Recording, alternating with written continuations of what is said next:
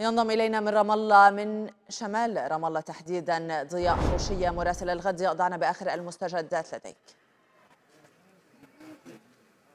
نعم أبدأ في آخر المستجدات في هذه اللحظات. سيصار إلى تشييع جثمان شهيد فلسطيني من بلدة بتريما شمال مدينة رام الله. كان استشهد برصاص الجيش الإسرائيلي وأصيب ثمانية آخرين خلال اقتحام قوات كبيرة من الجيش الإسرائيلي.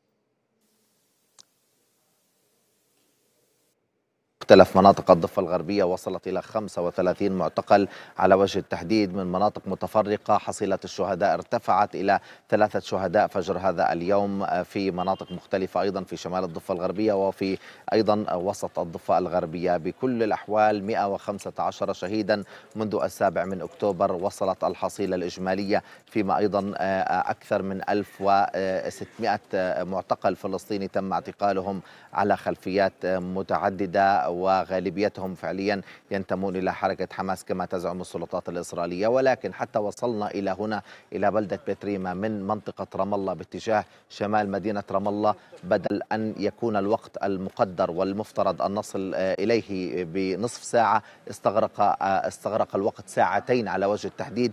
نتيجة سياسة إسرائيل في الضفة الغربية بإغلاق كافة مداخل المدن والقرى الفلسطينية بصورة كاملة مما اضطر أو يضطر الفلسطيني الذي يريد الذهاب ويتنقل من وإلى مركز مدينة رام الله أن يسلك ويدخل إلى أكثر من ستة قرى فلسطينية. دخلنا قرى فلسطينية ابتداء من مدينة روابي وعجول وعبوين ودير غسانة وغيرها من البلدات الفلسطينية حتى استطعنا أن نصل إلى بلدة بيت ريما حيث سيصار إلى تشييع جثمان هذا الشهيد.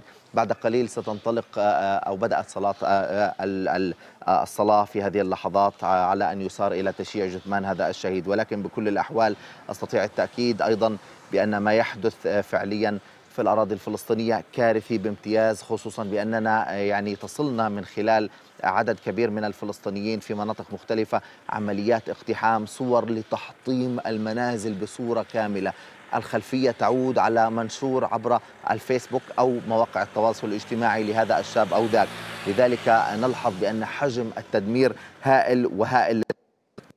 الخط الأخضر أيضا. هناك حالة غريبة جدا. الشرطة الإسرائيلية يوم أمس قتلت فلسطينيا برصاصها بزعم أنه حاول تنفيذ عملية في داخل المنطقة. وأيضا لمجرد الشبهة قامت بإطلاق الرصاص عليه داخل الخط الأخضر.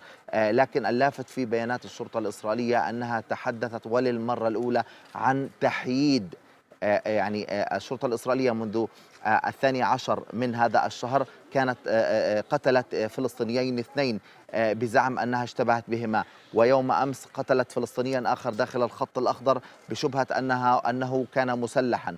بمعنى أن ثلاثة جرائم فعليا ارتكبتها شرطة الاحتلال بحق فلسطينيين استشهدوا برصاص الشرطة الإسرائيلية وذات البيان. صدر عن الشرطة الإسرائيلية يتحدث عن تحييد فلسطينيين بمعنى أنه ربما هذا تطور لافت وتطور كبير.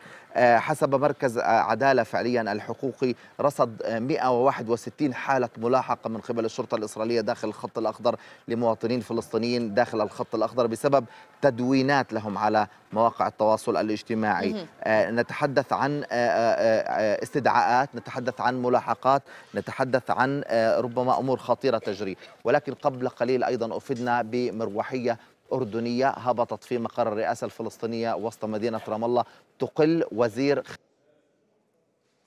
وزير الخارجية حسب بعض المصادر التي وردتنا بالرئيس الفلسطيني. لا نعرف ما الذي سيحمله لكن مجمل ما سيدور في هذا اللقاء هو بحث الأوضاع الميدانية المتوترة والمتفجرة في الضفة الغربية وتحديدا أيضا في قطاع غزة والعدوان المستمر والذي أوقع آلاف الشهداء حتى هذه اللحظة.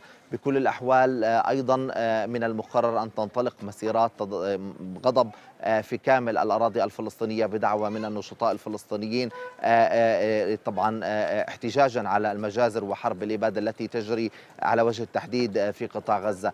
نادي الأسير ومؤسسات هيئة شؤون الأسرى والمحررين أيضا أحصت أعداد كبيرة من المعتقلين كل يوم على الأقل هناك ما يقارب 50 معتقل آه، بمجمل وصل إلى أكثر من 1600 حالة اعتقال. نادي الأسير أيضا تحدث آه، حسب البيانات الرسمية بأن ما يجري داخل السجون هناك جرائم منظمة ترتكب داخل السجون بحق الأسرى الفلسطينيين من عمليات تعذيب من عمليات مصادرة مقتنيات الأسرى وحتى ملابسهم وأيضا آه، انقطاع الكهرباء وانقطاع الماء وعدم توفير الطعام وسحب الأدوية أيضا آه، هناك آه، تحذيرات نعم. كبيرة داخل السجون ترد إلى نادي الأسير بأنه لربما قد يستشهد عدد من الأسرى نتيجة هذه السياسة ونتيجة الحملات المستمرة القمعية داخل السجون نعم. إسرائيل خصوصا أيضا بأننا نتحدث عن آلاف العمال من قطاع غزة كانوا يعملون داخل الخط الأخضر وتم اعتقالهم الصورة. لا أحد يدري عن مصيرهم بعض الأحاديث تتحدث بأنه تم احتجازهم في قواعد عسكرية إسرائيلية. أشكرك من رام الله ضياء حشية مراسل الغد.